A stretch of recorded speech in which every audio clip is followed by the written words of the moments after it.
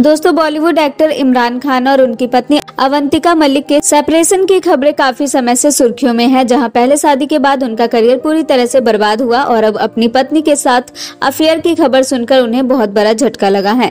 पर आखिरकार ऐसा क्या हुआ? इमरान खान की ज़िंदगी में अचानक इतनी सारी मुश्किलें आ चुकी है की इनका शादी के बाद करियर भी बर्बाद हो गया और अब इनकी पत्नी के अफेयर की खबरें भी सुर्खियों में है। अगर जानना चाहते हैं आप भी की क्या है पूरा सच तो जुड़े रहिए हमारे साथ इस वीडियो के अंत तक, पर उससे पहले आप हमारी वीडियो को लाइक करना ना भूले। इमरान खान ने बॉलीवुड इंडस्ट्री में जाने तू या जाने ना, मेरे ब्रदर की दुल्हन और एक मैं और एक तू जैसी कई फ़िल्में दी हैं, जिन फ़िल्मों को करके इमरान खान पूरी बॉलीवुड इंडस्ट्री में काफ़ी ज़्यादा मशहूर हो गए थे। लेकिन जब इन्होंने साल 2011 में अवंतिका से शादी रचा ली थी, तब से ही इनका एक्टिंग करियर पूरी तरह से पिछड़ गया, जहाँ इनकी फ़िल्में भी कम होती रही और इस शादी से इनकी एक बेटी भी है। तो वहीं अब उनके करियर खत्म होने के बाद इनके पर्सनल लाइफ भी खत्म होती जा रही है। लेकिन एक दूसरे के इस रिश्ते के बाद भी साल 2019 में दोनों का तलाक हो गया।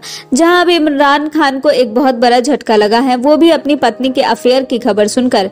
जी हाँ हाल ही में अवंतिका ने अपने इंस्टाग्राम पर कुछ तस्वीरें पोस्ट की और ये उन फ़ोटोज़ में एक्टर साहिब सिंह लंबा के साथ हैं और उनके कंधे पर हाथ रखे पोज करती दिख रही है। साहिब एक यंग एक्टर है जो अभी नाम बनाने के लिए स्ट्रगल कर रहे हैं।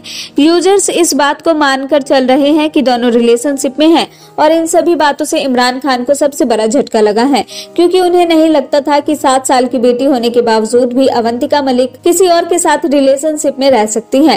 हालाँकि अभी अवंतिका मलिक ने पूरी तरह से कंफर्म नहीं किया है कि उनके नए लव पार्टनर हैं, पर इन तस्वीरों से कयास लगाए जा रहे हैं कि उनकी ज़िंदगी में अब कोई आ चुका है। वेल दोस्तों, आपको क्या लगता है? क्या सच में अवंतिका मलिक ने मूव ऑन कर लिया है और वो अपनी ज़िंदगी में आगे बढ़ चुकी है या नहीं?